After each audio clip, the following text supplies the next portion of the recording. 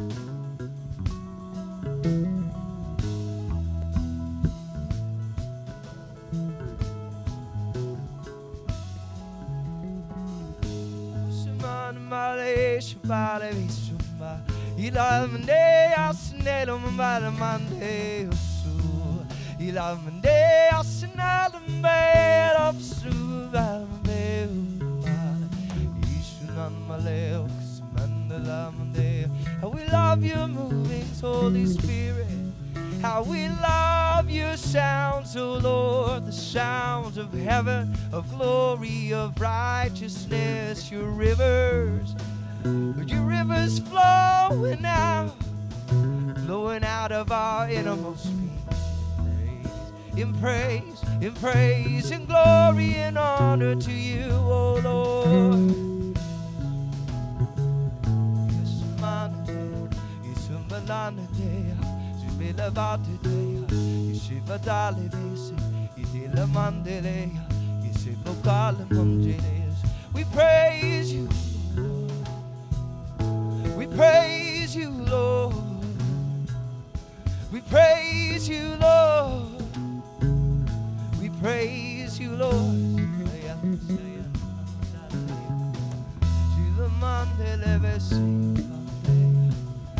la maestro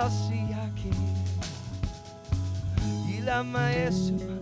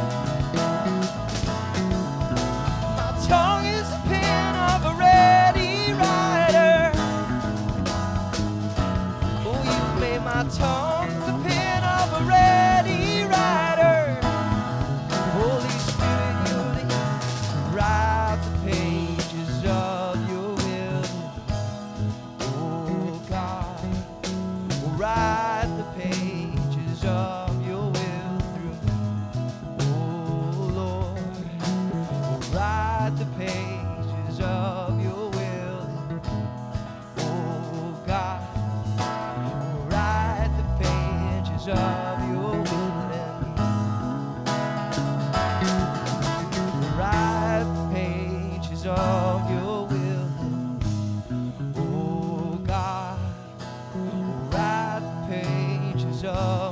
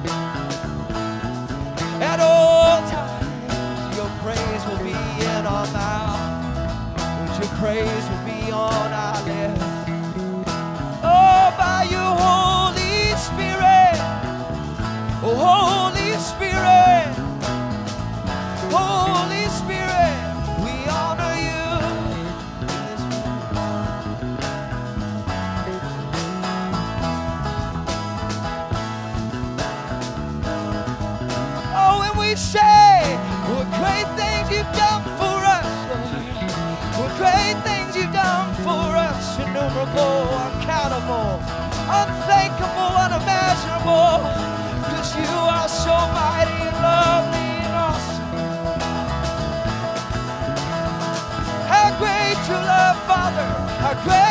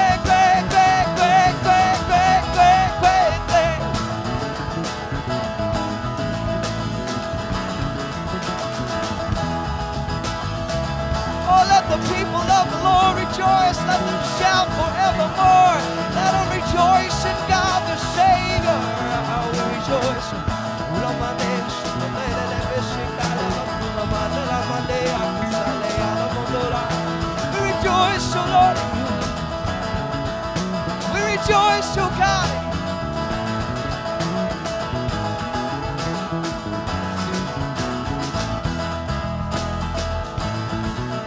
What great things you've done.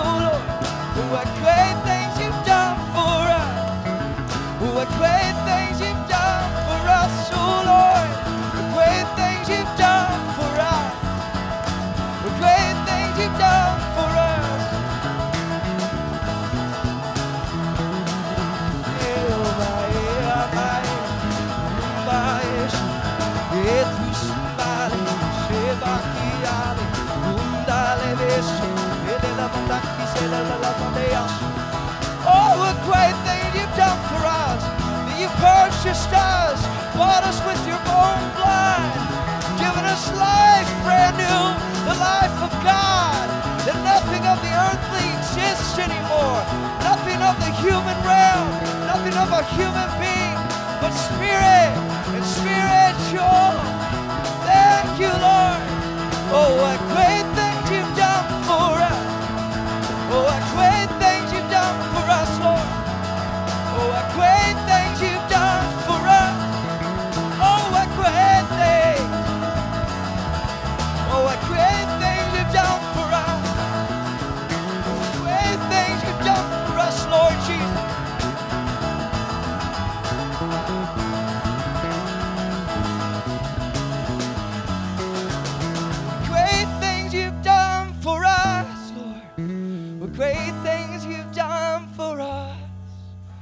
great things you've done for us, oh Lord. Innumerable, uncountable, unimaginable, unthinkable. Oh, the depths out of the depths of the love of the Father, the infinite, undescribable, infinite, undescribable love. Oh, you love. Oh, your love that fills every heart and life in this place. Your love that pours out freely. That. Your love that perfects and protects and keeps. Kept by your power. Kept by your love. Oh, what great things you've done for us. Oh, what great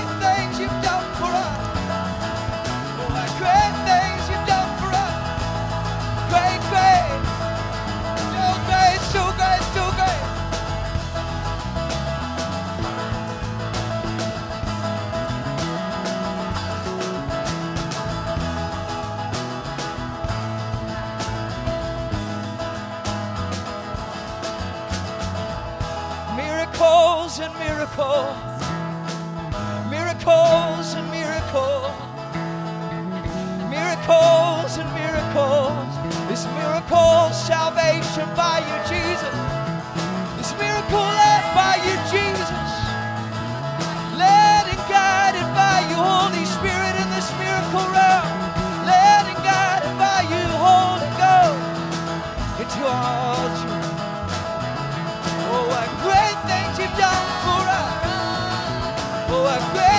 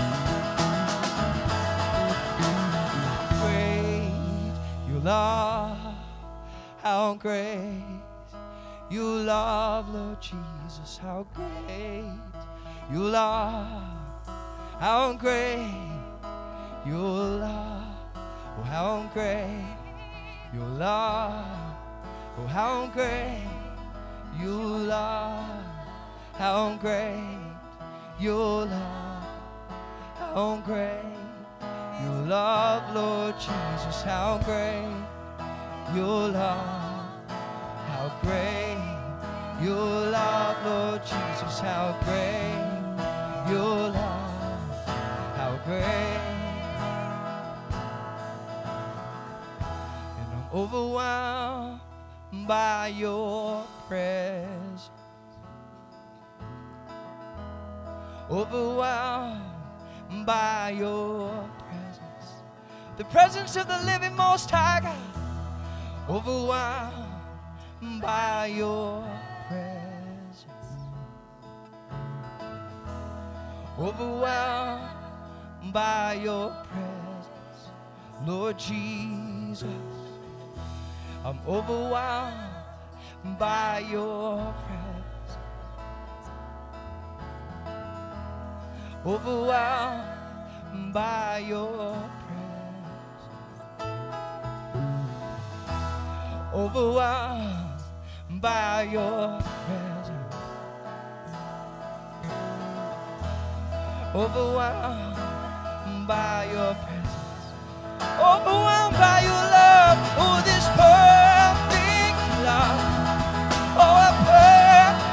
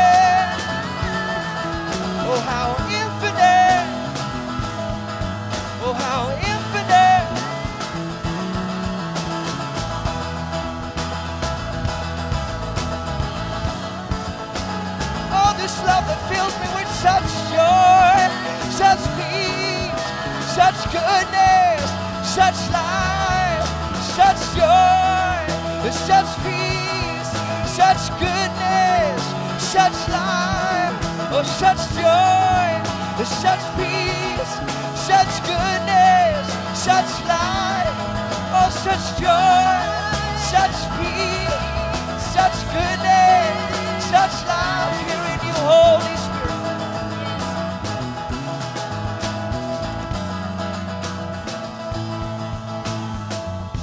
And I'm overwhelmed by your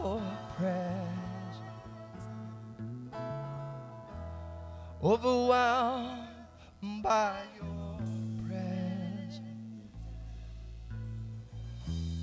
overwhelmed by your presence, overwhelmed by your presence, Lord Jesus,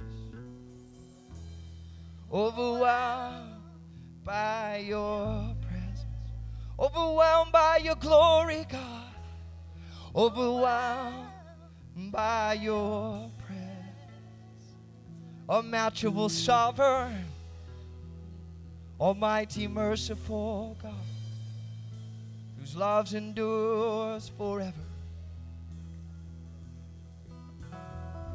Overwhelmed, overwhelmed, overwhelmed, overwhelmed by your presence, overwhelmed, overwhelmed by your goodness, overwhelmed, overwhelmed by this divine life that you've given. Overwhelmed, overwhelmed by your peace, overwhelmed, overwhelmed by your love, overwhelmed by your goodness, God. Let him just feel you deep inside right now. Yield, we yield, we yield to you, Holy Spirit. We only want you and that what you can do in this place, Father. Oh, Holy Spirit, we only want you. And we know that there is a depth so much deeper than we know that blows the mind off of what reality is thought to be and the truth enters and a whole new realm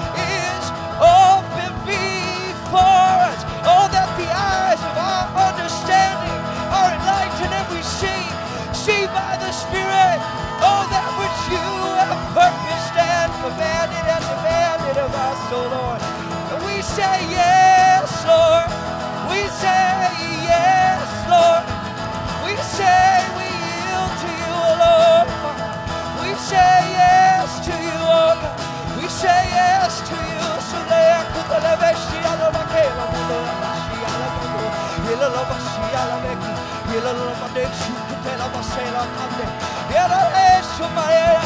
Oh, lift your voice in prayer and pray. Lift your voice in thanksgiving and rejoicing. Oh, la sea. Oh, la mandushi. Oh, la mashea.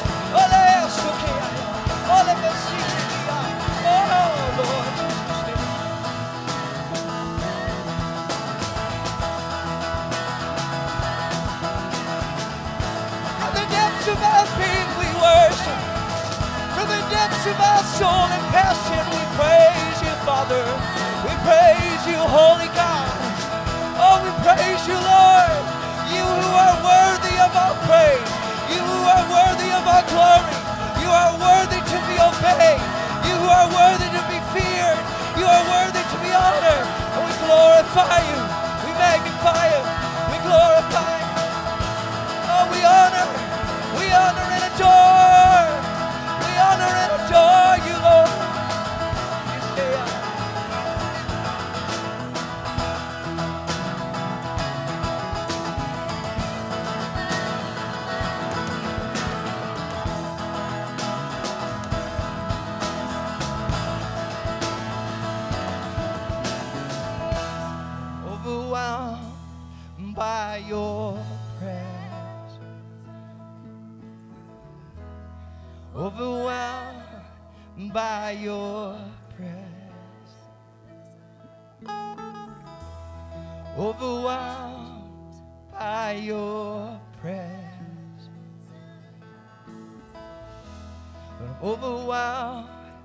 By your presence.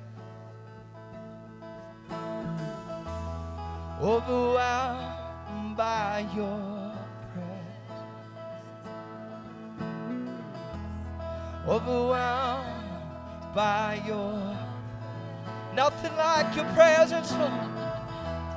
Overwhelmed by your presence. Overwhelmed by your in this perfect love, oh this perfect love, oh this perfect love, oh a perfect love, oh a perfect love, oh a perfect love, oh a perfect perfect, oh, a perfect love of the Father, a perfect that drew me before I ever knew, ever called a perfect love, oh, a perfect.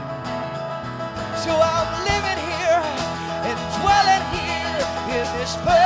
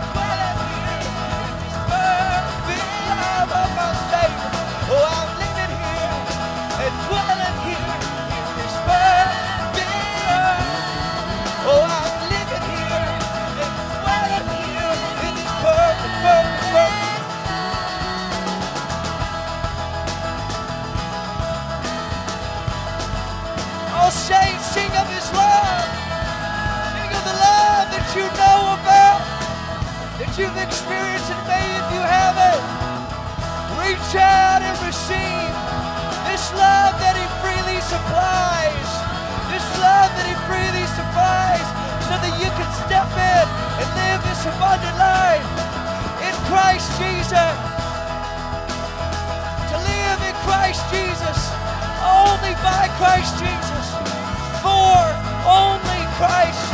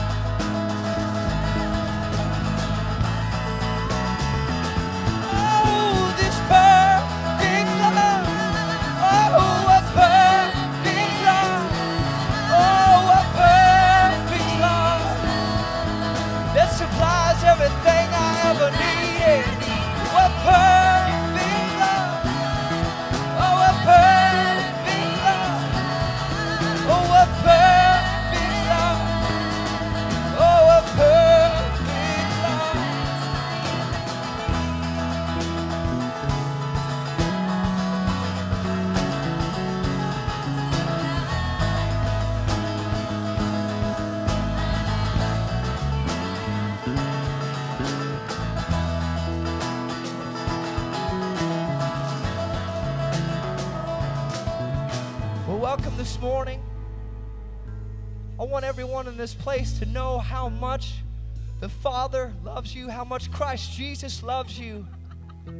Oh, the Father loved that He gave His only begotten Son, that which, which was most precious to Him, that which He only had one of. It was His best gift and best offering given for us.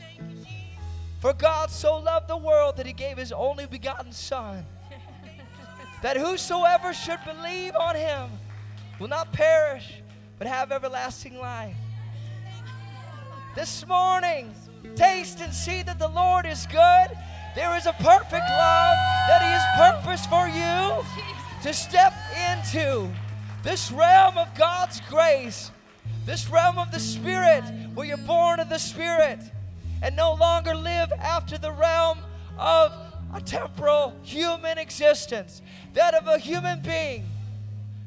But you step over to the realms of the Spirit, the realms of the Holy Spirit, to be just like God, to have your character and nature just like God. In this new birth, in this radical miracle salvation, transformation by Jesus Christ. Let His love just fill you this morning. Let His perfect love overwhelm you. I pray that the things of earth grow more than strangely dim, but they completely disappear because we're no longer living in a human, natural, temporal existence, but we're over, liberated from the kingdoms of this world, trans, just given over to the kingdom of the dear Son. Hallelujah. Praise the Lord this morning. I'm going to have Pastor Geneva come. This is the realm of miracles.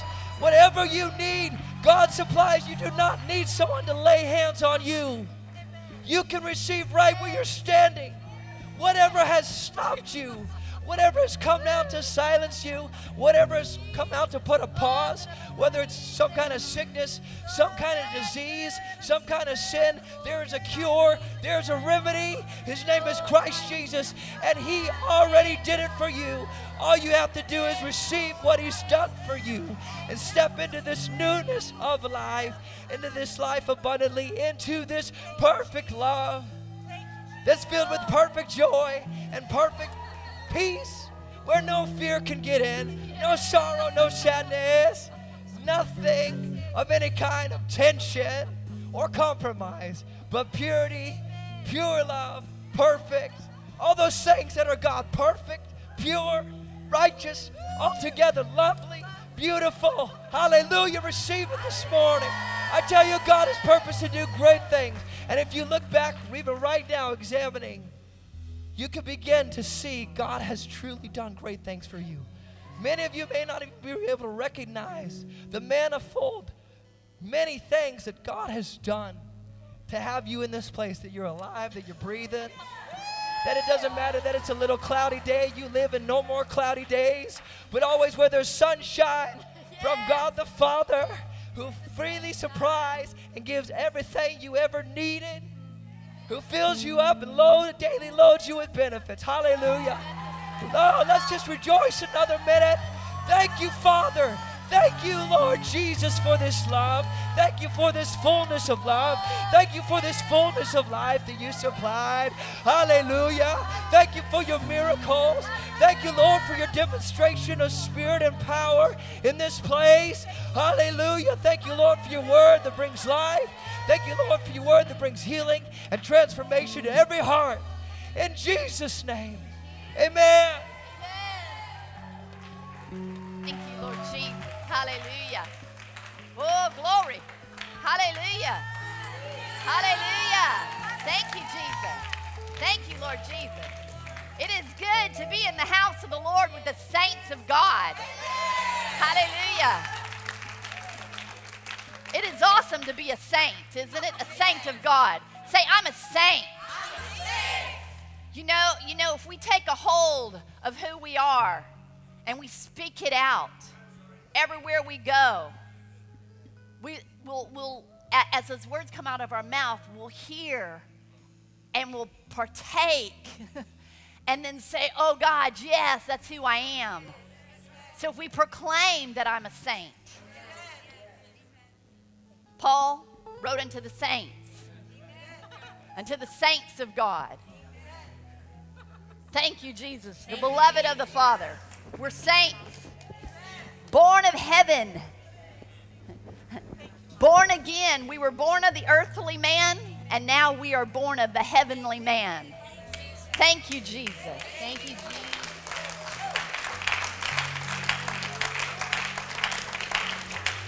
We are now partakers of the divine nature. We have his very nature in us. Isn't that amazing? So amazing what he has done.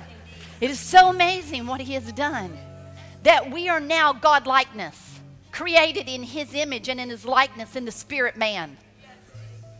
This earthly man's going to only live for so long.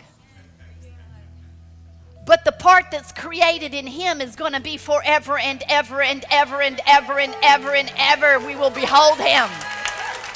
We will see him.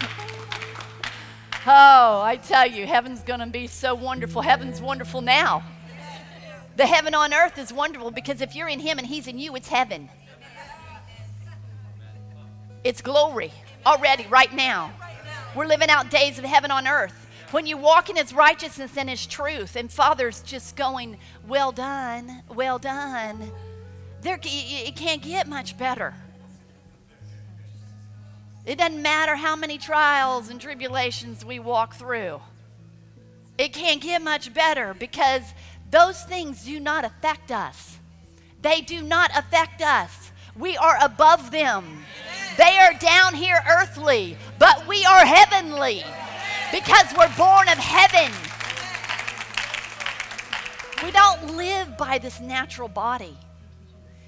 As we are in the spirit, we learn to train the body. Like Paul says, I bring this body into subjection unto the spirit because the spirit rules. The spirit is the one that dictates and controls. The spirit man that is in Christ Jesus. If Christ is in us, and he is, if we're saints of God, then we're to walk just like he walked, right? Live just like him, be like him, look like him, act like him, talk like him. If we're in him, if we're not in the spirit, then we're not his. If we love the world and the things that are in the world, then we don't have the love of the Father. It's amazing.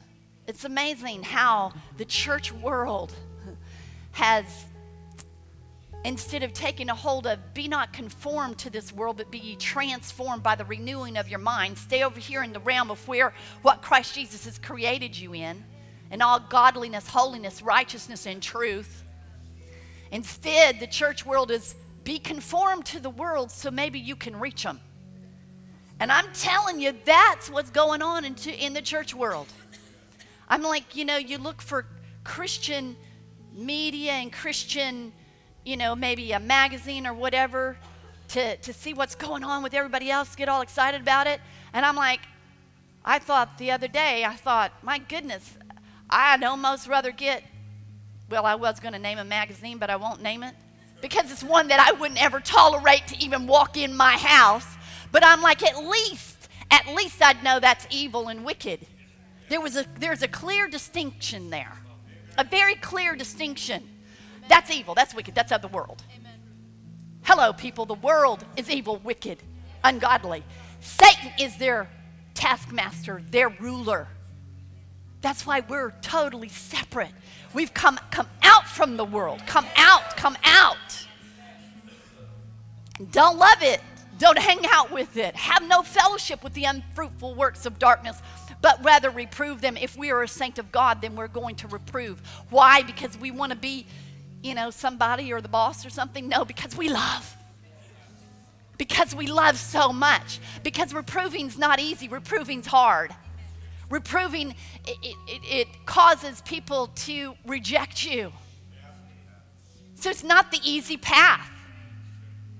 But it's the path of love. It's the path that cares. It's the path that is looking at the purpose and the destiny that God has placed on somebody's life and how they are taking it in just a wreck straight to hell. When they can have eternal life through Jesus Christ, our Lord. Taking a hold of the fact of who we are in Christ Jesus. Let's look a minute in Matthew chapter 5. Let's look a minute. Let's gaze upon his word. You can stand up, sit down, shout, jump, run around the building. Be who you are in Jesus. You know, that's our life. That's what we live. It's what we do every day that counts. It's what we speak every day. It's what we've got to say and what we're doing about the circumstances that we are in. Are we rejoicing? in the circumstances that we're in, you can hold your finger on Matthew chapter 5 because I'm going to go over here to Thessalonians real quick. And you can go with me. We'll go together and we'll gaze upon this glorious word that He has given us to live by. Not to go, oh, wow, that is great. That's just wonderful. Hope somebody does it. uh uh This is for us to live by. The children of Israel were given the law and the commandments and the judgments of the Lord to live by. And they looked at the world and they chose to follow after the nations around them. They were a nation set apart of God, like we're a nation we're the nation of the saints of God. We're the nation of heaven on earth. We are the nation of the kingdom of God declared to every person upon this earth.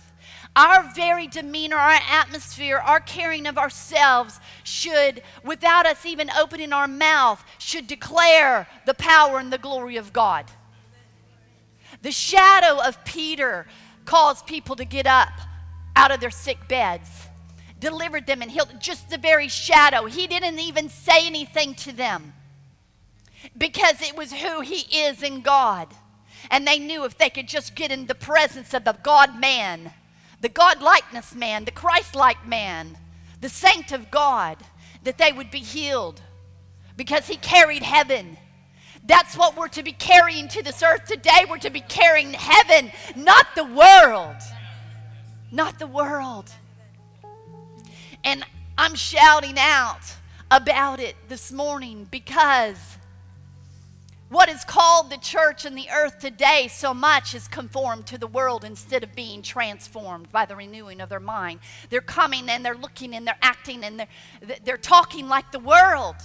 They put a little Jesus in it, enough to try to make them look good, and enough to sell the books, and enough to fulfill their purpose. But the enemy's gotten in there and he's stolen. He's stolen the life of the truth of the gospel right out of them. And it, it was the prophets of the Old Testament that went to, to, went to the nation of Israel, God's nation. There were nations all around them that were nations that were sold out to Satan and lived in, in wickedness and ungodliness. They didn't have to because the same God that took Israel and created his nation with those people would have mercy upon them. But man chose their evil. Every time there's a man that is walking in godly, ungodliness, it's because he's chosen to be there. Because the light of the gospel of Jesus Christ is upon this earth. And if you will seek after him, you will find him. It is a promise. When you seek after him with all of your heart, you will find him. But people with their mind and their own thoughts try to think of their way of what things should be instead of living by the word. We are not to try to figure out the word, we're to live by the word. God knows what He's talking about. He's the eternal past, He's the beginning. He was in the beginning, He was in the eternal past. How long ago is the eternal past? Can you tell me what the beginning was? He was there. I'm in my 50s. And I know a whole lot more than I did when I was in my 30s. And way more than I did when I was in my 20s and in my teens. And boy, when I was in my teens, I thought I had some things figured out and knew the direction I wanted to go in life and what I wanted to do. And me, you know, a lot of me. Seeing God's people, there's not me because we're crucified with Christ. Nevertheless, we live in this body, but the life we live it's not ours, and it's not us that lives it, but it's Christ Jesus in us. We get up in the morning and we're saying, Jesus, here I am. What do you want me to do? And how do you want me to live? And how do you want me to walk? How do you want me to talk? And who are you going to send me? And what to, to minister your word to? And what do you want to say? And we're on our knees and we're fighting against the powers of God that are trying to destroy our families, our nation, and the nations of the earth today. See, that's God's people. You do, you do so much more on your knees than you will ever do in your lifetime. You may do a lot of things in God in your lifetime, but you will do more on your knees. You will change more things on your knees. And you will change more things with the words of your mouth. But death and life are in the power of the tongue. Death and life are in the power of the tongue. You're going to either speak out life or you're going to be speaking out death.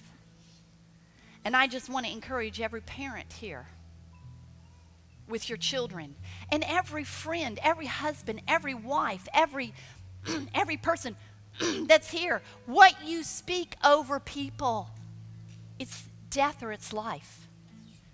Are you prophesying over your children? Are you telling Get out of here. Go to your room. Don't want to look at you. You're, you're being bad. Hey, redirection them. If they're acting up, get their direction going in the right place. Reset the temperature of the house. You know how we go to that thermostat and we fix it just where we want it? As long as the bill doesn't get too high. We fix it just where we want it according to our pocketbook. Set the temperature in your home. You can pull those kids right around you. Begin to prophesy. Say, Father, what are you saying over this child? Speak over them. I prayed over mine in the womb. I, you know, that, that is a whole nine months of just prophesying and speaking over them in the womb and then declaring throughout their life who they are and what they're going to be. Speak the word, speak life.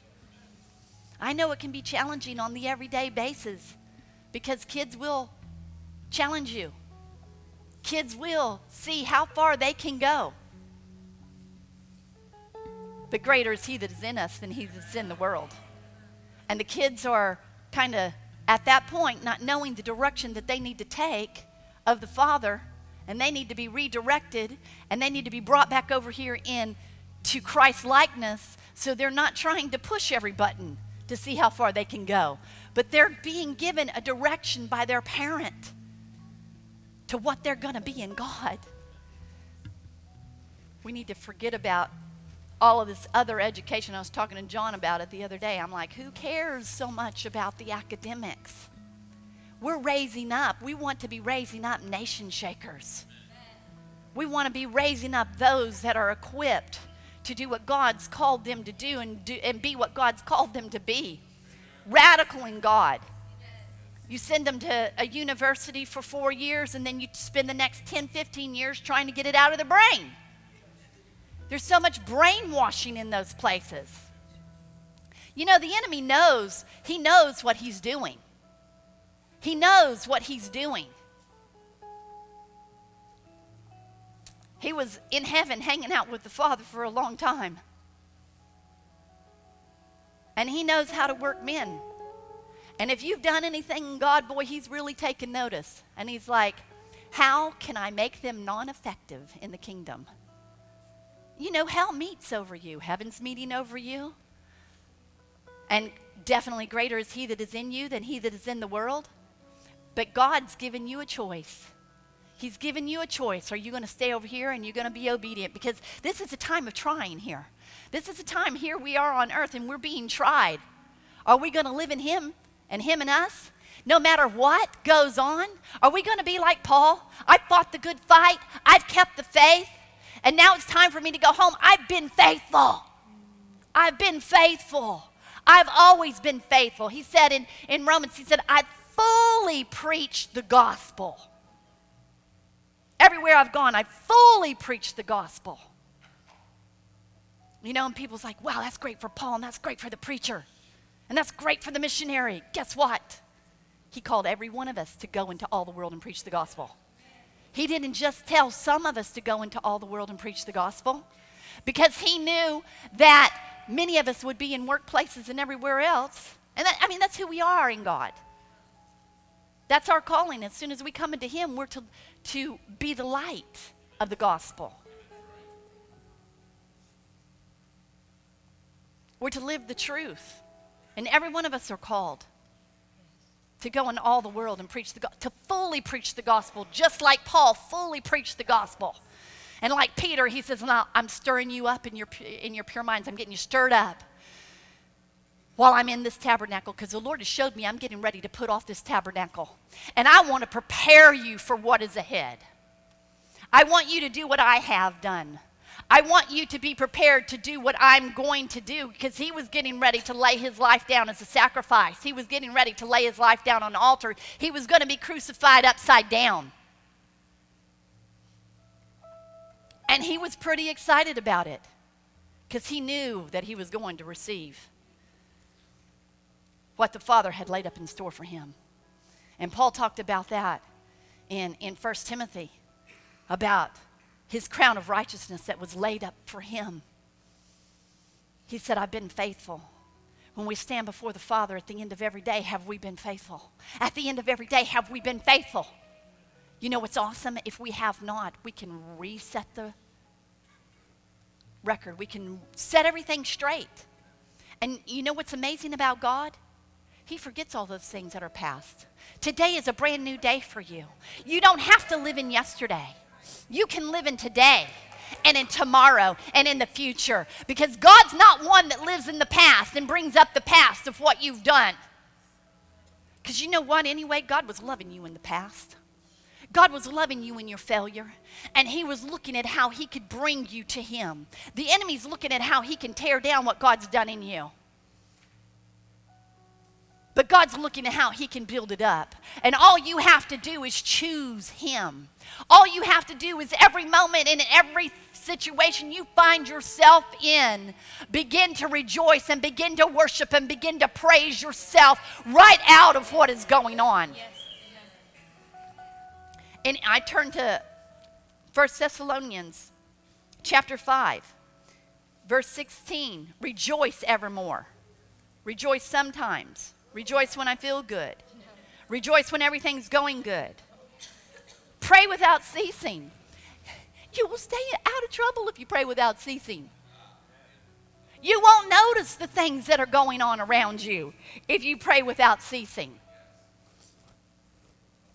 In everything, give thanks. That's praise. We enter his courts with thanksgiving. We enter, it, we enter his gates with thanksgiving and his courts with praise. Thanksgiving, that's worshiping Him. It's saying, God, you are almighty. God, you are sovereign. God, you are the King of heaven and earth. God, you are the beginning and the end. God, you are my Savior, my Redeemer. You're my waymaker. Father, you created all things. All things exist because of you. Father, you sent your Son and you cleansed me through the acceptance of the blood of Jesus Christ from all of my sins and from all unrighteousness. We begin to tell him who he is and what he's done, and the enemy has to get on the run. You submit yourself to God, and Satan has to flee. He has to go. He can't hang around. He can't hang around in the worship when you begin to worship. You turn the whole tactics and the tricks of the enemy around. Oh, thank you, Jesus. Thank you, Jesus. Oh, praise you, Father. Hallelujah. In everything, give thanks, for this is the will of God in Christ Jesus concerning you. For this is the will of God. He wants to see if in the bad times, I mean, He lets the enemy bring some trials. See, every good and perfect thing comes from God above. God does not tempt men with evil because he cannot be tempted, so therefore he does not tempt men with evil. But he'll pull back a little bit. He ain't pulling back much, though. There's a protection around about you saying, Come over here, son. Come over here, daughter. Come over here. Come over here. Come on. Stay this way. Straight and narrow. Straight and narrow. Straight and narrow. It's what we choose to listen to, though. It's what we choose. We're in the garden, and the tree's over there. And then we've got all of these beautiful trees and every fruit and every vegetable and everything that God ever created and everything you, you, can think of and things that you don't even know about because you haven't even been to other countries to see. All of those things. And we have it all. We're in the garden. And are we running over to the one tree? The one tree? Or are we eating of the fruit of heaven? Are we living in the glory? Are we being thankful in all things? Are we being faithful at the end of the day? Can we say, like Paul, I have been faithful? I have been faithful. I have fought the good fight of faith. There's a fight. But look, you're on the side of the one that wins. We know the end of the game. And it's not a game, it's eternity. But everybody's watching the game, what's going to come out. And nobody knows to the end. But God knows the end because He's going to destroy the wicked one. And all those that choose to follow Him, He's going to destroy them eternally in hell. He did not make hell for man, He made it for the devil and his angels. Scripture clearly tells us. But everyone that chooses to follow the enemy, they can go there if that's what they want to do. But God's calling you over here into the realms of heaven and the realms of glory. And somehow people think that there's something over here that is good. And they get over there and they're in misery and they're in torment. And there is no satisfaction and there is no happiness because this earth and the things of this life and the things that the enemy has cannot satisfy. Everything that is of the enemy brings forth death any way you slice it, the wages of sin are still the same. They haven't changed. They may change in the earthly standard. Uh, minimum wage may change continually, but the wages of sin is still death. It's death. And in sin, there is death. There's going to be some form of death in it. The enemy is looking for, he goes around as a roaring lion, seeing whom he may devour. And I'm not going to be on the list. And neither do I want him to distract me from what God's called me to do. People, we need to do more in the kingdom, but we allow distractions. We may have made up our mind that we're following Jesus. And I mean, I, am I'm, I'm going to follow Jesus with no compromise. I don't care if the whole church compromises. I saw some things going on in the church. I looked at some Christian television, Jesus. I was so upset Wednesday night. I was like, I want to get up there with Pastor Martin and just rip things apart because I'm not going to compromise. I just said, Lord, I don't care if they all go. I don't care if these men and women of God that I have seen and I have known when they walked in righteousness and truth, I don't care what they do. I will not compromise. I'd rather get to heaven and the Lord say, Man, you were just too straight and too narrow. You had no compromise. You needed to be just a little bit more. I don't think He will. I much rather be so radically uncompromised. So radically not like the world. So radically just being sure that I'm not of the world and I don't look like the world and I don't act like the world and my demeanor carries the anointing. I carry the Holy Ghost with me. My words are the Holy Ghost. You know, people in this Thanksgiving, in everything, give thanks, for this is the will of God in Christ Jesus concerning you. In this, you know, as soon as they find themselves in trouble, as soon as they find that Father's not answering the prayer that they need right now, because they, you know, they ask and they want it now. And in our day and time, you know, we're just a little bit of brats. We raise our kids. The last couple of generations of children that have been raised have been raised as brats. After World War II and after all the things that people suffered in the Depression and in World War II and the things that went on, the parents are just like, oh, I just, you know, we've been through it and we just want to give our kids everything and we just want life to be, you know, leave it to Beaver. and so we just want to be a, you know, a blessing to our kids and give them everything and do everything for them. And we just raise complete and total brats. Because we were raised brats. And our parents didn't realize it so much. Jesus. And so we, you know, we come to the Father like a brat instead of worshiping Him for who He is and being caught up in that He is the Almighty. You know, when they came to be healed, of God when Jesus was on the earth and they came to be healed because they saw the man that carried heaven. They came and they worshiped him. They came and they worshiped him. We go, um, Lord, you know, I'm not feeling too good right here, right now. Come and heal me. Thank you, Jesus. Thank you, Lord, for doing it now. Your word says to do it. You'll do it. And then in a few minutes, why in the world hasn't God answered? Well, why don't you worship him, him, him till he does? Worship. Worship him. Be thankful. No matter what it is, no matter what it looks like. I think about Paul being stoned to death. It says they left him for dead. They left him for dead. I think they checked. They left him for dead. And you know, and they got, had big stones like this, you know. They weren't just, you know, throwing pebbles. I mean, he, it was a bloody, gruesome mess. He was cut, torn up, a mess. They left him for dead. He didn't go. He, he got up and he walked away and went and ministered and then got up the next day and went on a journey in ministry. He didn't go, okay, God, you know, what was this? What was this all about? I mean, what did I do to deserve this? How did I find myself? I mean, you know, that hurt. Have you ever had 500 stones thrown at you, man? That hurt. And I'm to say, God, you know, what's going on here? You know, I'm faithfully preaching your gospel. I'm doing what you want me to do. And, and I get stoned? So that's what I get? That, uh huh, this is, this is uh huh. Lord, how did I get here? What are the circumstances? You know, why does it never work? You know, I pray, and why is there always the, the trial and there's this, ah. Paul got up. He rose from the dead and he got up and he went on and ministered. And he didn't say he talked anything about it. And he just got up, completely healed, and went to the next city because he knew his God. He didn't sit there and whine about it.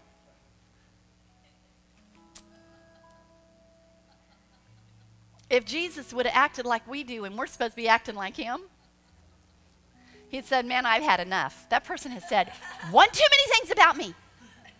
I am sick of what they got to say about me, and I'm not tolerating this anymore. Okay, this is it.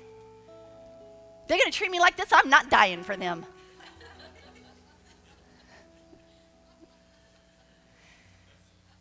and we're Christ like. See, because it's not about us, it's about living for Him. It's not about our life, it's about His life. It's about the life of Christ in us. It's about who He is and what He's called us to. We're so temporal in our thinking, not eternal. Because our purpose is to bring eternity, the truth of eternity, to a lost and a dying world that doesn't know Him. I want the truth. I want the truth of the gospel. No matter how it comes, it's so much better than somebody being so nice like the lying prophets of Israel that had all the good things to say, oh no, God's we're going to win this battle and God's all for you and God, you know, we are his people and we're it's all good, everything's going great, you know, God loves us and you know, we're going to and they lied. They didn't say one thing. You read Isaiah, Jeremiah and Ezekiel. You'll find out some things about God.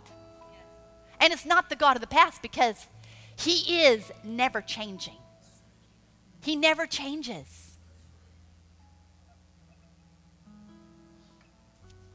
He's the same.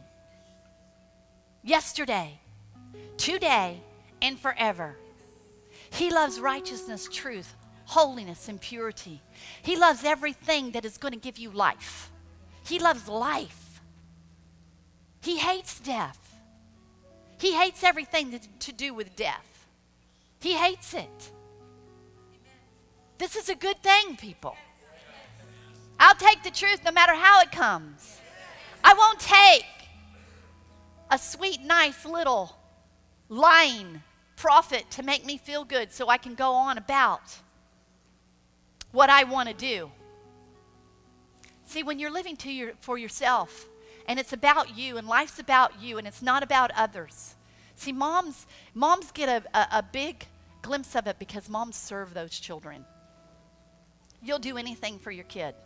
You know, it's them first. I mean, if it was my mother, I remember, you know, when we were young, all of the, we'd be together all the time with the different ministries and, and you know, become time to eat.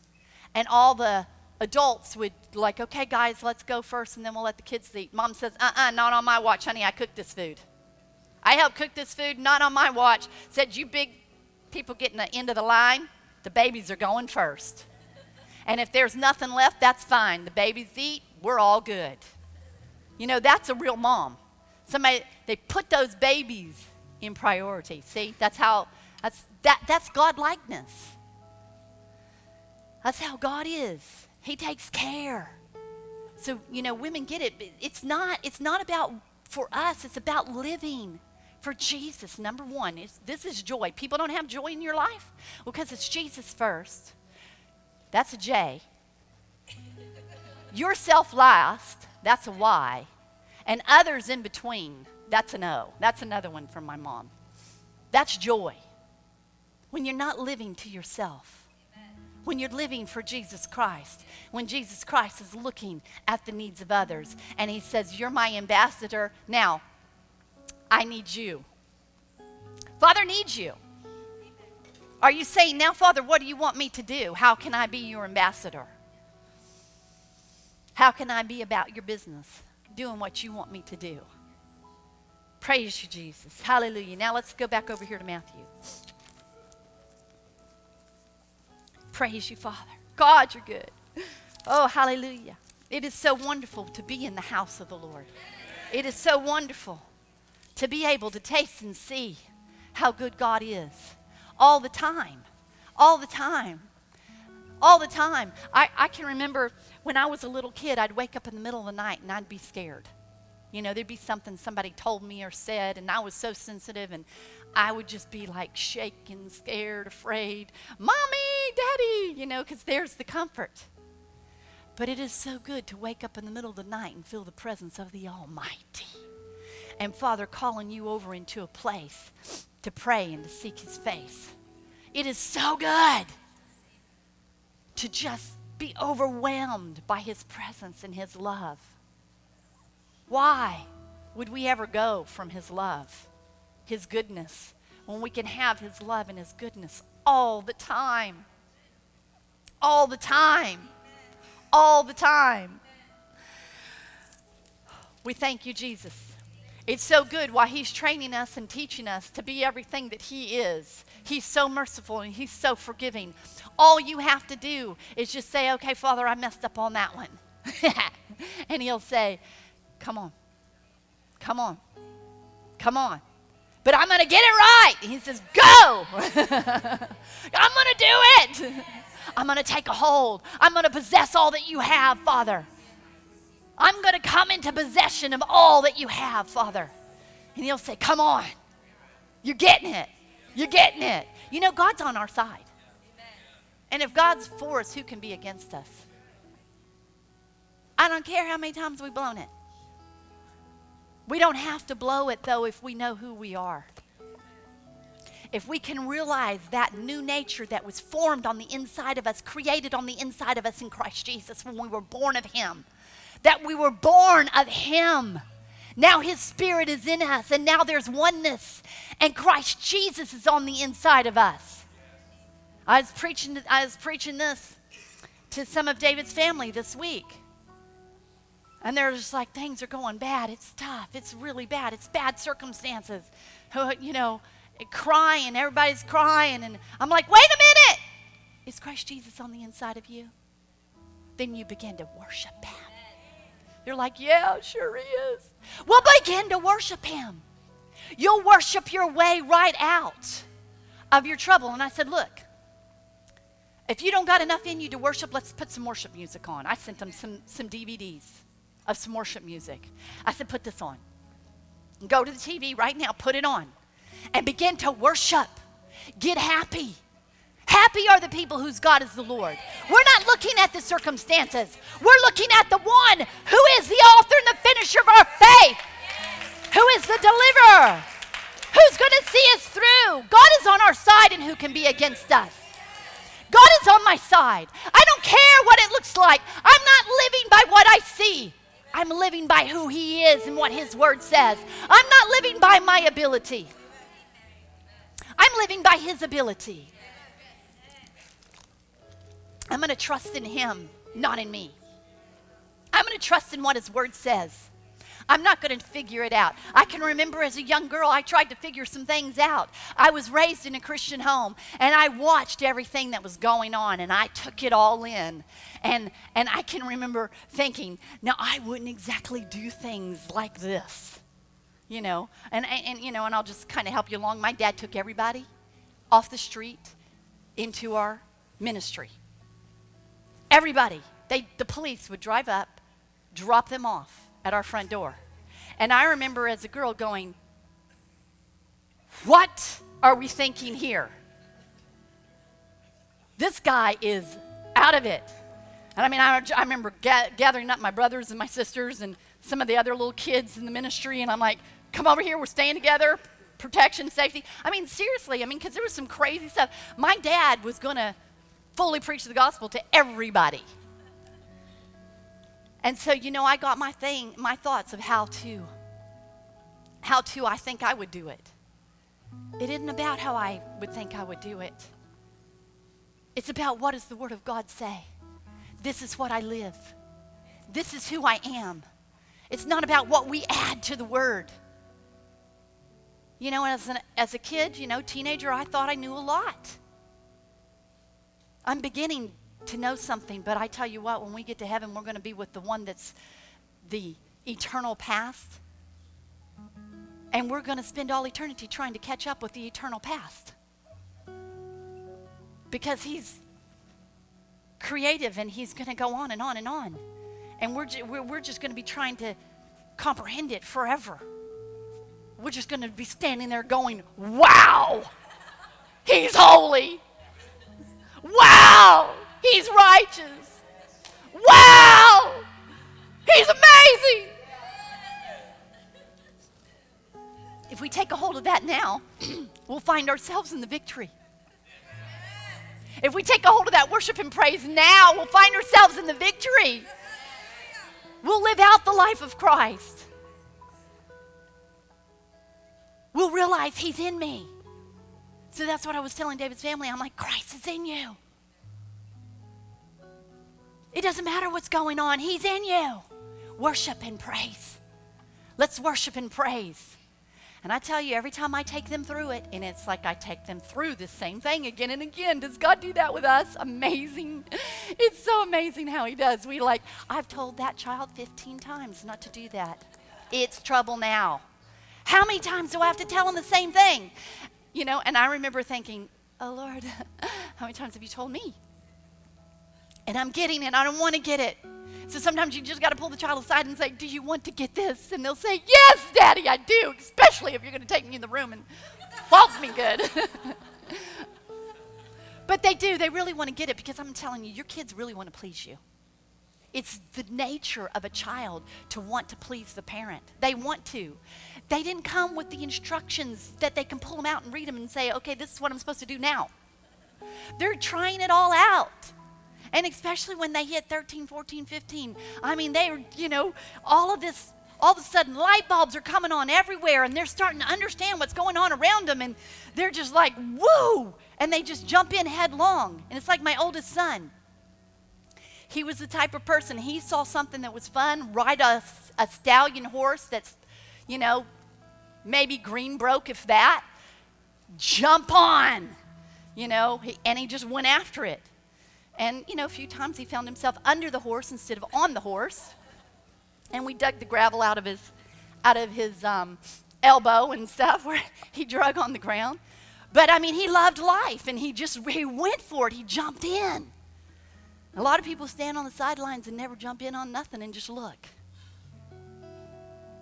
And then there's those other cautious people that stand and look and then slowly work into it. But I'd rather jump in as to do nothing, always stand my whole life just looking and seeing. But anyway, with children, you know, there's guidance. We teach them, we train them, we help them, just like Father's doing with us. Thank you, Jesus. Hallelujah. Lots of patience Father has with us. Lots of patience we should have with our friends with our parents, with our children, with our loved ones. Because God's patient with us. And He's in us, right? He's in us. So we don't have to go, I'm with it. I, I just don't have much patience. Is Jesus in you? Then you're able. I can do all things through Christ who strengthens me. Speak life, not death, to everyone. Bring them the light and the life. They know the trouble, they know the problems. Right here in Matthew chapter 5.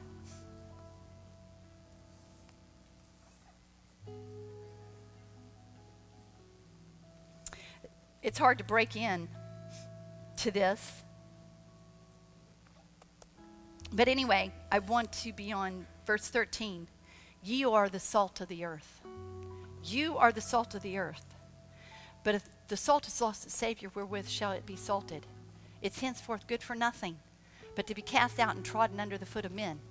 If Christ is in us, we are the salt of the earth. We are the salt.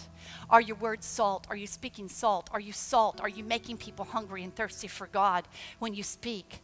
It's what you're doing, it's the life that you're living around. It's everybody that knows you. Do they know who you are? Do they know that you are a saint of God? Have you been salting them?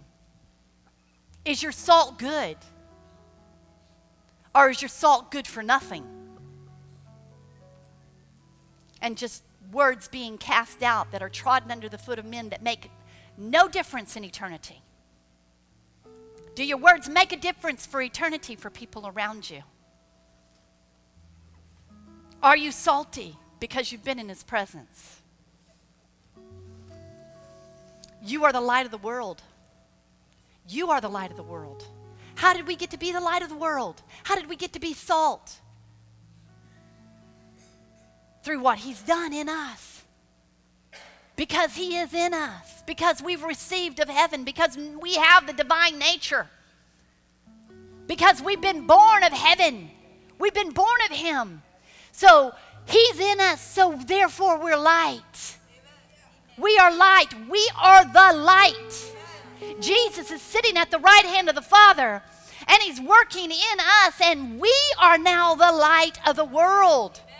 We're the light. We're to be set upon a hill so everybody can see the light and come to the light, not hidden under a bushel, going, if I tell them I'm a Christian, they're not going to like me anymore.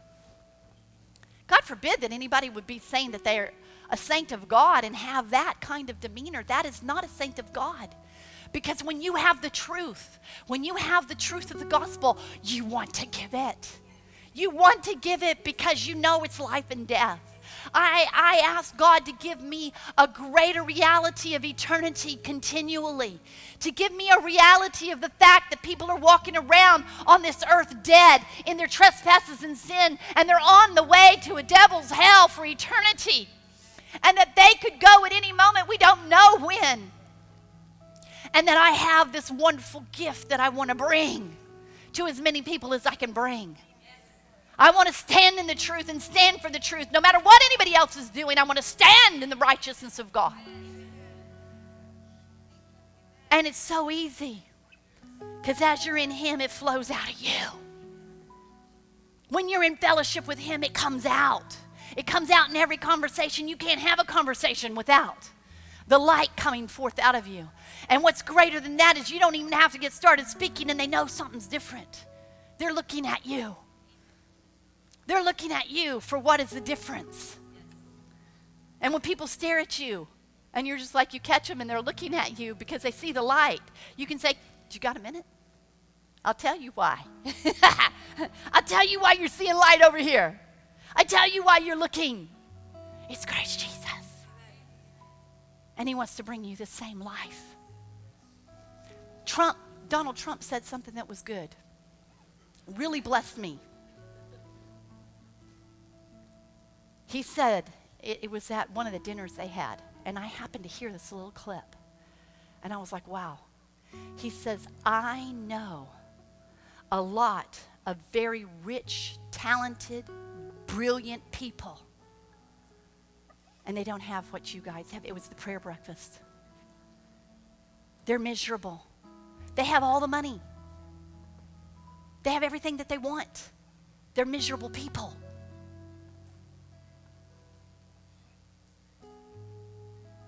He said Christians have. Exactly how he put that part, I don't know. But he says, what you guys have, what you have.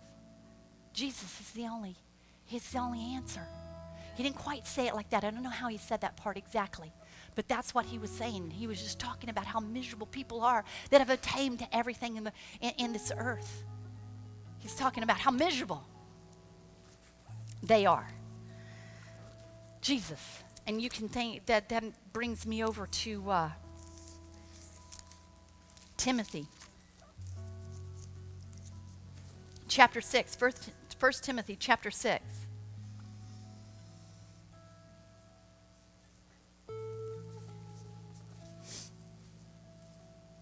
And, and Paul's teaching Timothy how to be a man of God, how to fight the good fight of faith like he fought, how to be faithful.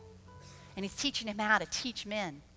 And he's teaching him how to walk away. If any man teach you otherwise than what I've taught you, consent, and he consents not to the wholesome words, the words of life right here. If he's not, if he's not living in the words of life, the words of our Lord Jesus Christ, and to the doctrine according to godliness, the doctrine of our Lord Jesus Christ, and according to godliness, he is proud, knowing nothing, but doting about questions and strifes. So many so called Christians.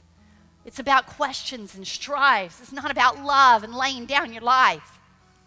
It's not about caring about that person more than you care about yourself and how can you be a part of getting them to heaven. Too much in the church, we step on other people and we're not so completely concerned about their eternity and what we do, how it can affect them.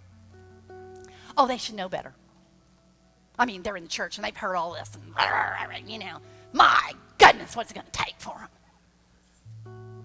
Well, Father can turn around and he could say the same thing to you, but he doesn't. He looks at you and he says, I love you. Jesus is like, I love you so much. I died for you, and I, I, have made the perfect way for you to live for me for all eternity. One day, he will come and he will judge strongly. And he'll say, Depart from me, you workers of iniquity. I never knew you. But until then, he's calling you to him. He's calling you to come to him. He's showing you. He leads us, he draws us to him with his goodness. And we are his ambassadors. We are to draw people with the goodness, even our brothers and sisters, and actually more. Even more so. Even more so. He is proud, knowing nothing, but doting about questions and strife and words, whereof comes envy and strife. Envy. I tell you what, you got to watch that one. You got to watch that one. You've got to be really, really careful and watch that because strife will be with envy and envy will be just it'll start out simple why don't i have what they have and why you know and they look and and and then the next thing you know envy murdered abel. Instead of instead of that place of repentance and saying okay god i'll come your way because i know your way envy got mad because it didn't like god's way it wanted cain's way and envy murdered abel and then the scribes and the Pharisees, the leaders of Israel, those that knew the law, that studied the law, that were supposed to be equipped with the law, that were supposed to know the righteousness of the law, were supposed to know God. Their envy, they looked and they said, The whole world is going to follow him. What are we going to do if we let him go? If we let this continue, look how they're worshiping him. They've got out the palm branches. They're crying, Hosanna to the King of Kings. The whole world has gone after him. And envy murdered Jesus. That is not something that you want to mess with. Not one little teeny bit, because the enemy doesn't take a little teeny bit. If you give him an inch, he takes a mile. He'll take a 100,000 miles quickly. You don't give him any. Envy will bring hatred and murder. Hatred is murder. And dislike is hatred. It may be just a little bit of shrubbing your shoulder, shoulder one day, the next day it's going to be hate. And then you may never actually, you may control yourself and not kill anybody, but you may have it in your heart with hatred. And Father will say, Depart from me, you workers of iniquity, I never knew you. It's what's on the inside, what you allow to go on in your mind. We're to, we're to gird up the loins of our mind. We're to be very careful with what we allow our minds to think and the attitudes we allow to go on in our minds and in our thoughts and our conversations with ourselves.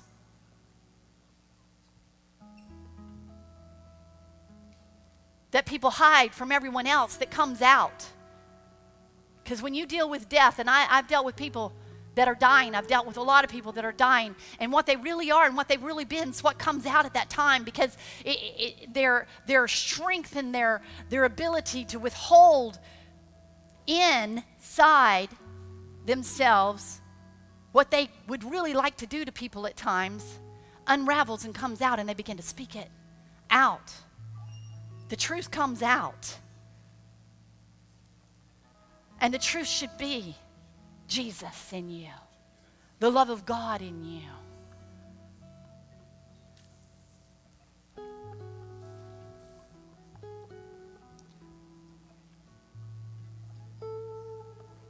Perverse disputings of men, of corrupt minds, and destitute of the truth. Destitute of the truth. These are supposed to be people that are trying to lead other people. These are the lying prophets, destitute of the truth destitute of the truth, supposing that gain is godliness. Be careful, people. Be careful. Be careful. Be careful. Now, this is Paul teaching. And I think Paul's got the mind of Christ here, right?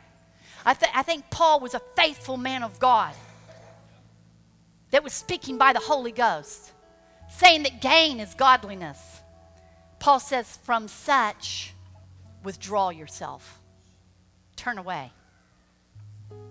But godliness with contentment, this is the true riches.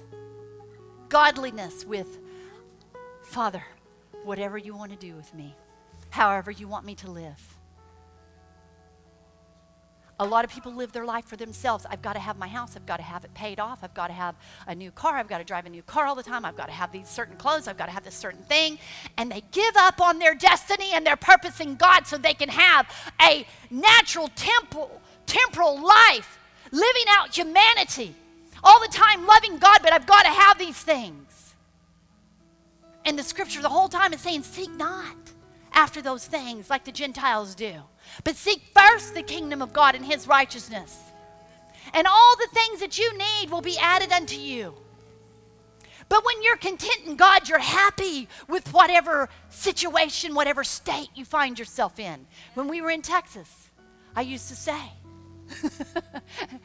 because you know we kept thinking about California and the good time we were having. We had at the abiding place in California, and we were in Texas, and it was a little bit drier there. It was a little bit more intense to to minister to people that were all Christians, and had all been raised up in Sunday school, and they had the answers. and I would say, Lord, the Lord says, with whatever state you're in, be content be content with whatever state. So if we're in the state of Texas, we're to be content. Just a little bit in there. That, that may help you remember whatever state I'm in, with whatever situation. Godliness is great gain. That's the true riches. The riches of heaven are the riches that we want, not the riches of this earth. Because I'm telling you, I don't care who has them, they're here today and gone tomorrow. People can walk through money like it's water. It's not, and it's not what's going to satisfy. For we brought nothing into this world, and it's for sure that we'll take nothing out.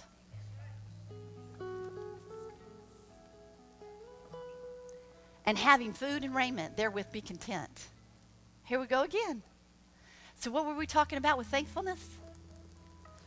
And people are like, oh, I need, and I need, and I need, and I need. How about, Father, what do you need me to do? Father, I'm yours. I belong to you. What do you want me to do? Father, I want to spend my time in the kingdom. There's so many people that minister the gospel that, that could have spent their life in obtaining riches. They had, they had abilities to obtain riches. But they would not get sucked into that and gave themselves over. I couldn't do in this ministry what I have done in the last 20 years in this ministry. I couldn't have done what I have done in this ministry had I been focused on what uh, on bringing in finances for my family. And you know, I would have liked to have done more for my family, but you know what? We're good. We're all, all alive. We lived through it all. And weren't always thankful, but are learning to be even more today. And I was so busy, I didn't have time to think about whether I was thankful or not. I'm, you know, and I used to tell people that would come to me with counseling and, and in need and had all these problems. I said, just get busy in the kingdom of God and you won't have time to think about all this stuff. You won't have time to dream all this up. You'll be too busy working for Jesus. Let me hand you a toilet brush. You'll be too busy in the house of God. There's stuff to do around here. And, you know, right now there's some things that need to be done around here. And I'm like, Mike, we miss you greatly. Because I got a little spoiled of like I didn't have to go round people up and get them to take care of things. I'm like, he's got it done before I can ask. I'm like, God, you're so good. you're so amazing. And now I'm going, Father, can anybody see your house? Well, I have to fly out of town right now or we'd be getting started on Monday. But, uh, you know, Father's house is important. It's important. And we should all care about it. We should all carry the same care about it. You know, Pastor Mark didn't ask me, do this, then do this, do this. I looked and I saw.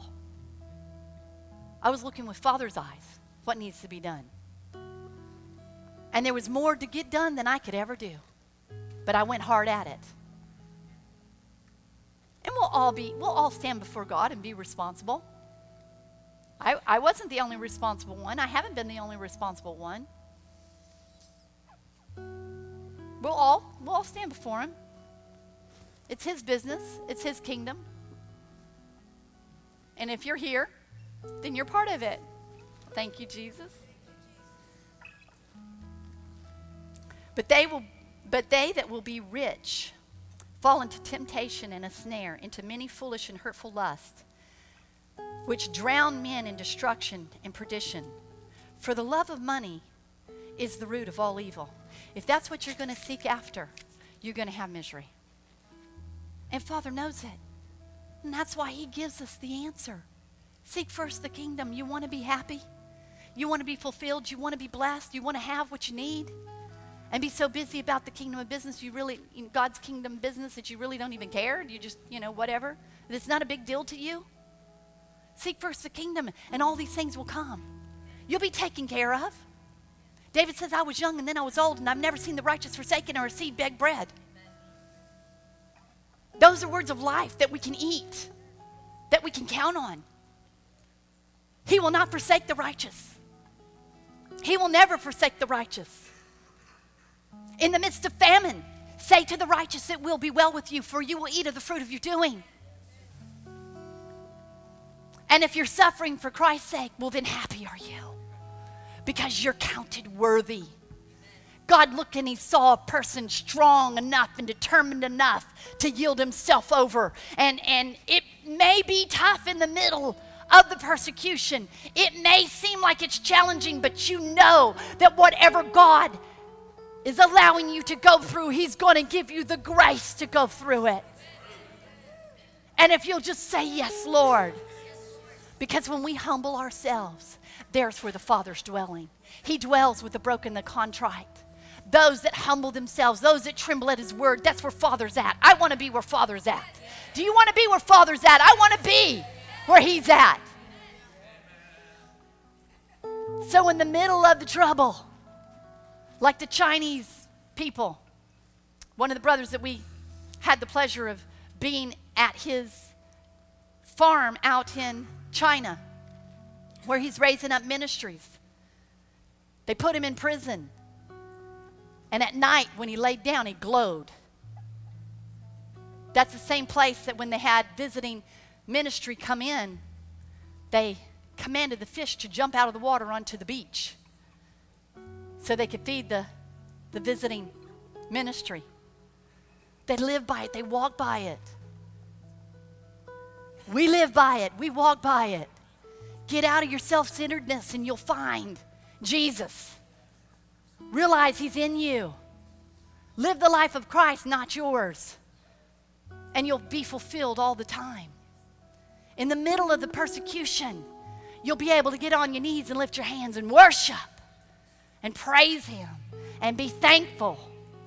This is where He's bringing you. This is the place He's bringing you to because the things of this life, it's not what counts. It's not what counts. They fall into hurtful lust. I'm going to go ahead and read this that drown men in destruction and perdition because that's what they're seeking after. For the love of the money is, is the root of all evil, which while some co- coveted after, Covetousness is not a fruit of the Spirit. They have erred from the faith. They've turned from the faith and pierced themselves through pierced themselves through with many sorrows. But thou, O man of God, wow, you guys stayed up here a long time. But thou, O man of God, flee these things and follow after righteousness, godliness, faith, love. I tell you what, if you're just basking in the love of God, there's nothing better. Nothing better. There's nothing better.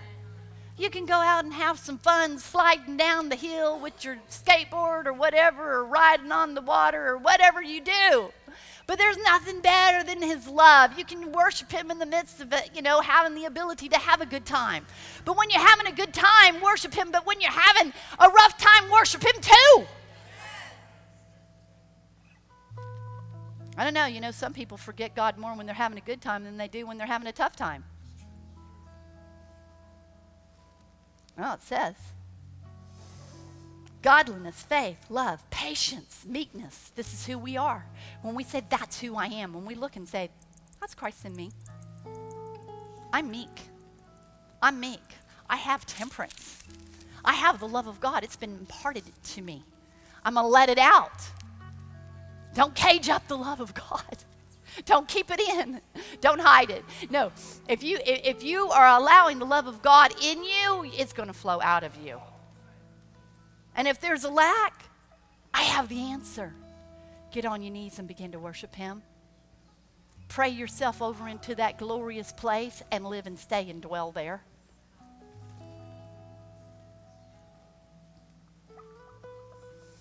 Fight the good fight of faith. Lay hold on eternal life. There's a fight, but we're on the winning side. Lay hold on eternal life. Don't let go. Don't give up. Don't back down. Don't stop. There's an old song I've come too far to turn back now. But more than that, I want more. I want more. I want to know him. I want to behold him. I want to see him. I want more. I want the manifestation of the Almighty God flowing out of me. I want more. I want more. I want more. I want more. We find it in the sweet surrender of humility and brokenness before Him. And saying, Father, form me and fashion me. Make me like you, Lord. He says, I have, but we just, we allow Him to be the potter and we're just the clay. Fight the good fight of faith. Lay hold on eternal life. We're in two. You are also called, and you have, you've professed a good profession before many witnesses. You've professed who you are. Now, are you standing and are you living in what Christ Jesus has done for you? Are you that light? You have confessed that light. People know there's something different. Are you living that light? Are you living that light before men that they might see your good works and glorify your Father which is in heaven? That they might say, Over here is the truth. I've watched them walk, walk through all kinds of stuff. I've seen them go through things, and yet they're happy, they're rejoicing, and they're faithful to their God. I want what they've got. It might take a while, but they'll go, I want what they've got. Even, even Christians, we've got Christian family members that are Baptists. You know, and I'm thinking about someone on David's side. And I begin to I begin to minister by the Spirit the things of heaven, the riches of heaven, and they're just like, wow. Could you please, could you please help with this? Sure. Thank you. It changed the whole situation. All I did was call up and pray. Thank you. You can have this too, you know. And they're like, Really? Yeah. Get baptized in the Holy Ghost. There's more. Praise you, Jesus. Would you stand with me? I tell you what, when the Lord is here in his house, there are signs that follow. And if you have a need before the Father, He's here to meet your need, whatever it is. We want to give everybody the opportunity to come and worship the Lord with what He's blessed you with. You want to keep good books with God. I'm going to tell you this you want to keep good books with God. You want to keep good books with God. You keep good books with God, and He'll take care of you. All the time. All the time. There'll be provision. There'll be provision all the time. You will not be lacking when you put Him first and you take care of His house and you take care of His things. It's a covenant. It's a, it's a, a relationship covenant that we have with God that He is our God and we are His people. that we bring the first fruits of all that we have. People want to say that tithe isn't taught in the New Testament. How about the fir- first fruits? We're to lay up and store the first fruits. And there's so much more. And it's really 100% of what we have. So if we look at what we have and we say it doesn't belong to me, it all belongs to God, then we're saying, Father, continually, what do you want me to do? What do you want me to do? I'm in possession of your money, and Father, you take, you take charge. Uh, what I have belongs to you. Father, what do you want me to do? When it's all about Him and not about us. Jesus. Hallelujah. God is so good. So you can come and you can worship the Lord. You can dance and you can rejoice with what you have. And you can also come if you have any need. And we will minister to you and we will see, Father, come and do what only He can do. Because we can't do a thing, but Jesus can. Hallelujah. And He's here. Hallelujah. He is here. He is here to meet your need, whatever your need is. Thank you, Jesus. Hallelujah. We praise you, Father. Oh, we glorify your holy name. There is none like you, Lord. I tell you what, the promises of God are yes and amen all the time. It is the Father's good pleasure to give us the kingdom. He never turned anyone down. I don't care what it looks like. I don't care if you've asked God 200 times for that you have need of something, that you have need of healing. Jesus did not turn one person down when they came to him. He showed us the example that healing is the children's bread. He showed us the example that he would meet our needs. He cared about the needs of the 5,000 plus that had no food for three days. And he took care of their need. He said, Bring me the little few loaves and the couple of fish. And he held it up before the Father. And he did what? He gave thanks. And then he began to break it. And it began to multiply. And it fed how many people? We don't know because we know that, you know, it was 5,000 men. And then if we say their wives, and they didn't have birth control back then. So they had as many as the Lord blessed them with. So it could be a lot of kids that came. Thank you, Jesus. He will supply all of your needs according to his riches and his glory in Christ Jesus. Hallelujah. Praise you, Jesus. Can you? Sure. Thank you, Jesus. Hallelujah. Father, we worship you. Hallelujah.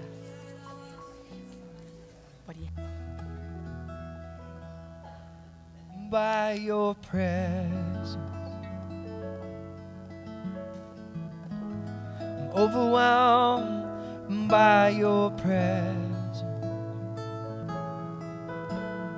I'm overwhelmed by your presence. Overwhelmed by your presence. Overwhelmed by your presence. Overwhelmed by your presence, Lord Jesus. Overwhelmed by your presence. Overwhelmed by your presence. Overwhelmed by your presence. Overwhelmed by your presence. Overwhelmed by your presence. Overwhelmed by your presence.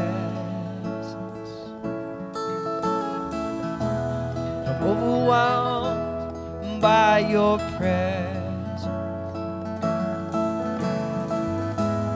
Overwhelmed by your presence, Lord Jesus. Overwhelmed by your presence. overwhelmed by your presence.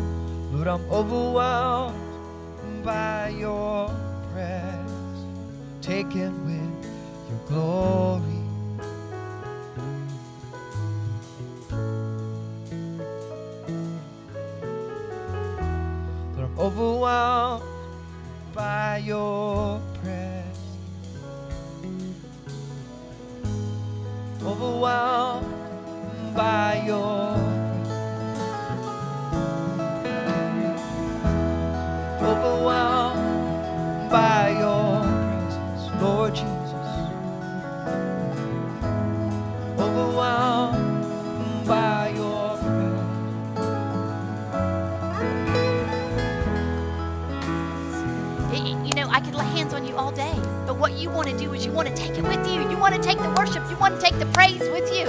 And there is where the blessing comes. It's when we believe our God, when we know that He is faithful, and that He will provide all that we have need of. When we worship Him and we believe Him, we will receive. Now, Father, right now, the joy of the Lord is your strength. In the name of Jesus. Thank you, Father. In the name of Jesus. Right now, Father. Right now, in Jesus' name. Right now, in Jesus' name. Right now, in Jesus' name. Joy unspeakable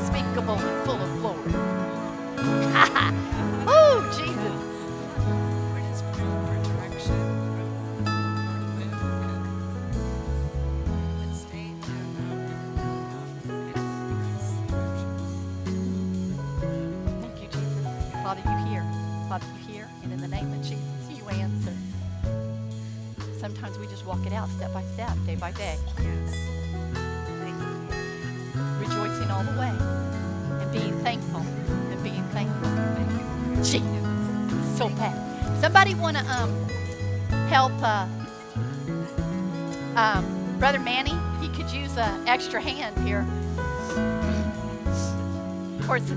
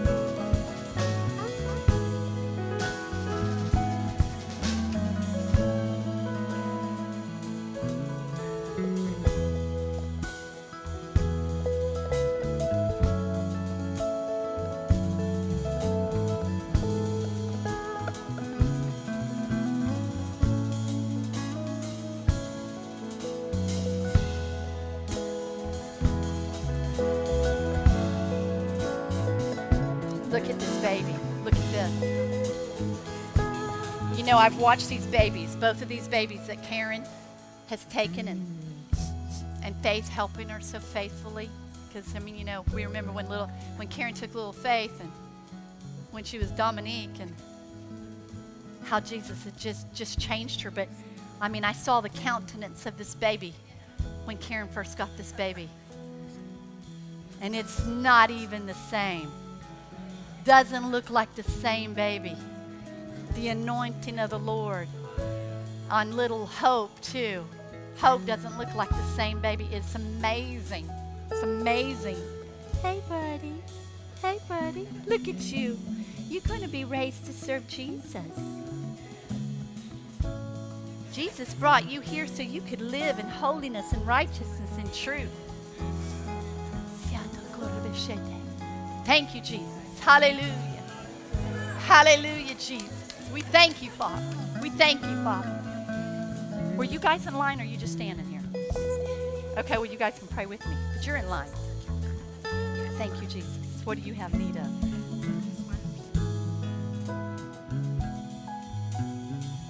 I'm going to give you this. Be concerned and worried about nothing. Be concerned and worried about nothing. But with prayer and supplication, make all of your requests known unto God. You tell Father. You be faithful to Father. Father be faithful to you. He's faithful to you before you're faithful to Him. But He can be more faithful to you when you're faithful to Him. Because when we go and we walk our own way, we take we, we, we remove the blessing of God off of us. But if we stay over here in the blessing, then He blesses us, right? So you do that, and the next scripture says in Philippians chapter 4, it says, And the peace of God will rule your heart and mind. And the peace of God will rule your heart and mind. So we ask for the peace of God, then we're not worried and concerned about anything. But with prayer and supplication, we make our requests known unto God. Hallelujah. And then we know the Father that we're talking to is going to answer us. See, because you need to take this home with you. So you got to have the Word in there to take home with you. And so you begin to worship Him. And you begin to tell Him, Father, you are my provider. Father, you are my waymaker. Father, you are the peace that passes all understanding. Father, I thank you that you're in me and I'm in you. And you'll have that peace. In Jesus' name, right now. In Jesus' name. In Jesus' name. In Jesus' name. Right now. Right now, in Jesus' name. We thank you, Father.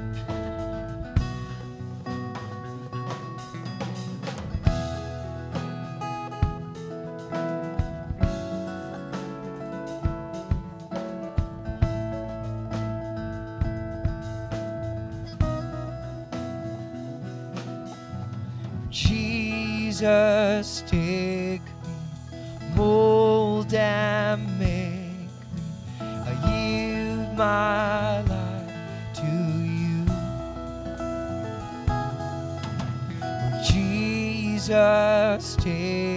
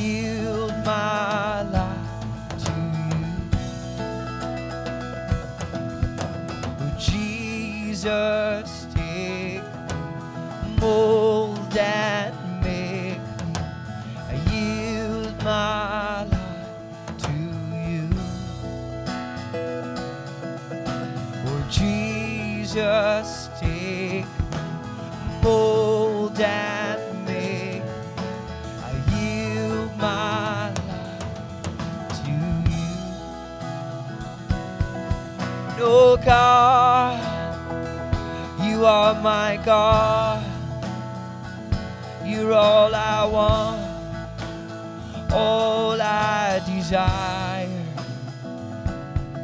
Oh God, you are my God. You're all I want, all I desire. Jesus, take mold and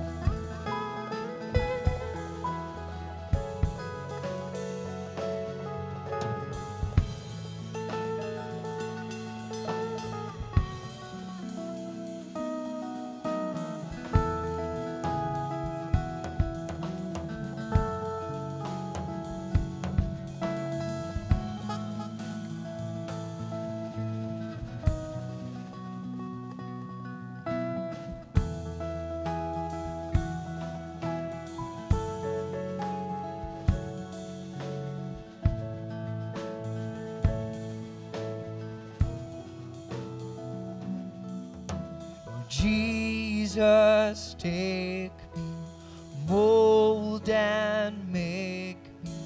I yield my life to you.